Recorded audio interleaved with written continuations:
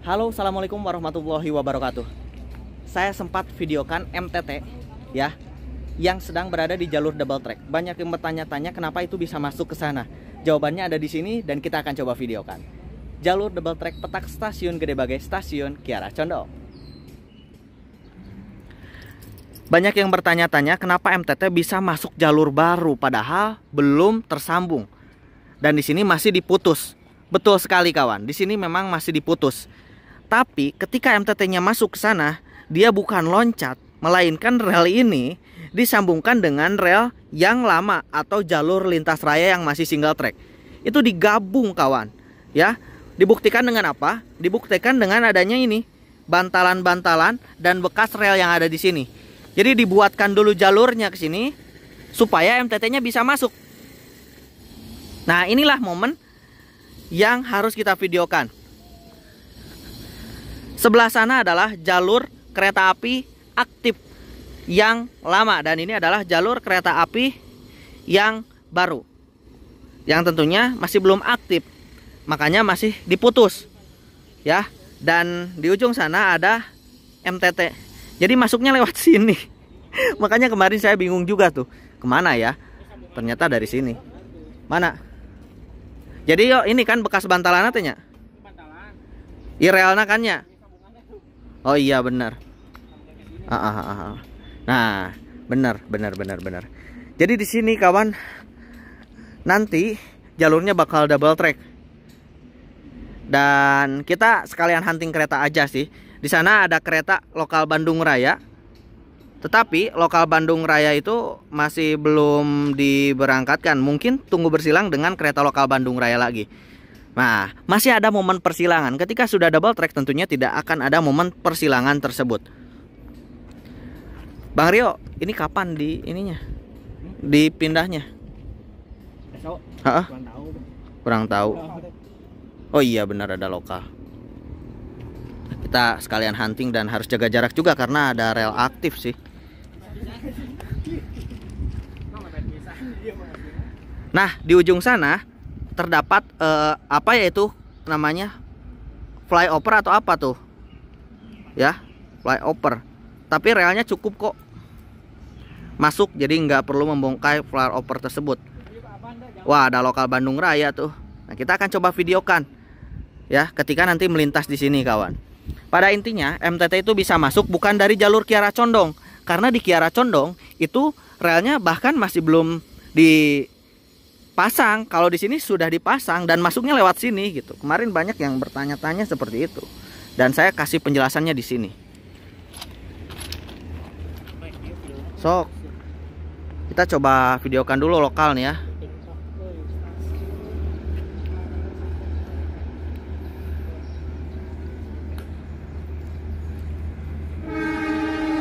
Nah ini bekas jalurnya nih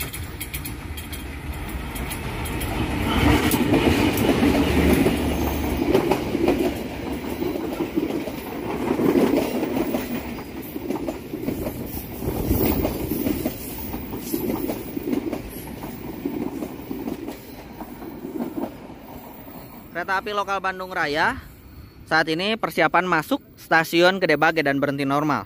Kita akan coba nyebrang dulu. Ini nanti bakal dipakai apa ya, Bos?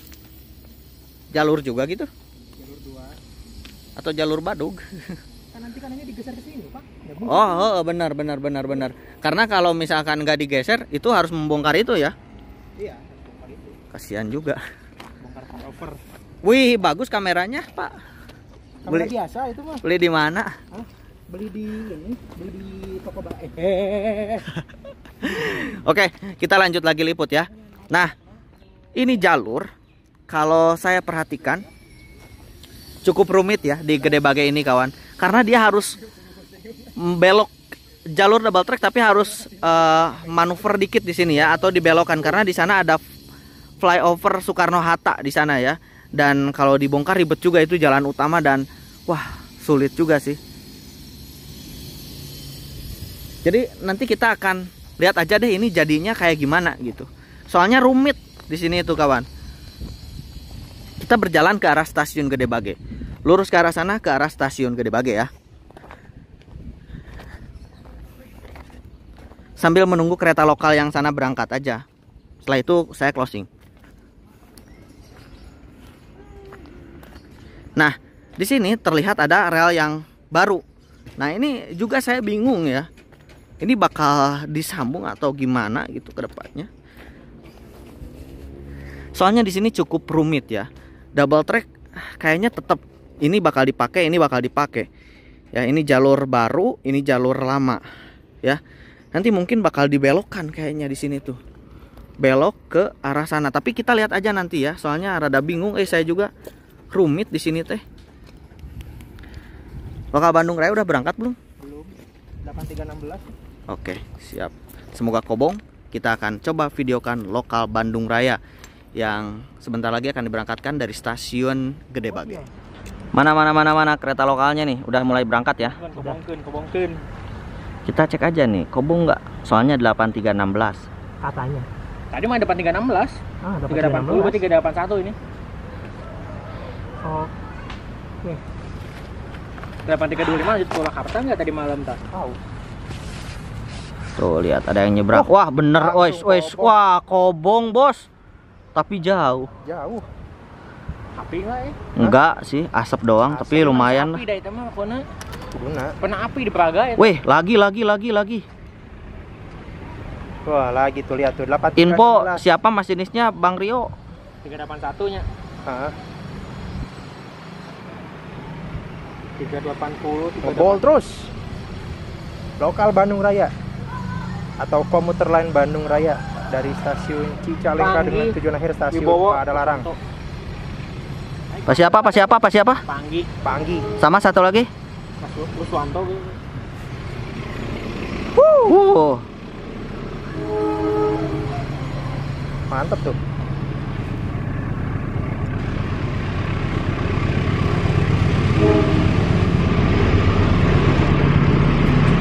Delapan tiga enam belas, Info Induk Bandung.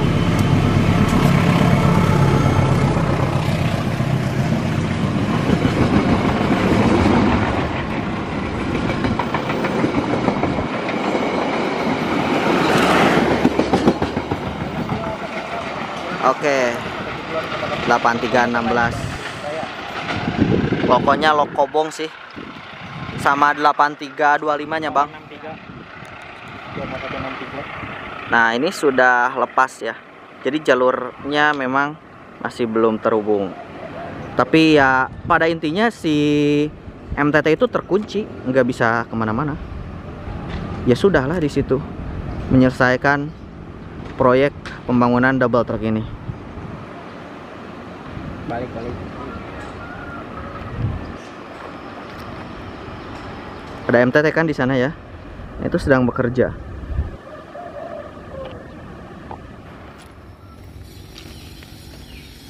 Ya sudah, pada intinya saya ingin coba videokan itu aja sih. Terutama rel kayak gini itu langka ya kawan. Karena jarang kita temukan dan hanya bisa ditemukan di jalur-jalur kereta yang sedang ada pembangunan seperti ini. Ya, berdekatan kayak gini. Ini menjelang switch over, tapi switch overnya nanti setelah eh, apa namanya? jalur keretanya resmi beroperasi. Mantap nih DJKA bangun jalur kereta api double track. Nah, ini nih keunikan dari rel pinggir-pinggir itu kayak gini. Jadi si bantalannya itu rapat. Nanti di switch off ya, switch over. Ya kita lihat aja lah. Soalnya di sini agak rumit. Saya juga belum bisa menyimpulkan ini jalurnya bakal gimana. Tapi yang jelas ini pasti bakal ada belokan nih di sini karena space di sana itu kecil ya. Jadi harus ada belokan. Kalau kita pantau jadwal kereta kayaknya udah nggak ada lagi ya. Saya closing aja deh kayaknya. Yang penting teman-teman tahu dan sudah bisa terjawab pertanyaannya kenapa MTT bisa masuk. Ya, terima kasih yang sudah nonton video saya. Kurang lebihnya mohon maaf, mohon maaf jika videonya kurang maksimal itu tadi. Momen saya mengabadikan kereta api lokal dan mengabadikan momen rel yang unik ini. Ya, gas aja, gas aja. Ayo. Ayo, siap. Hatur nuhun. See you next time. Wahiron. Wassalamualaikum warahmatullahi wabarakatuh.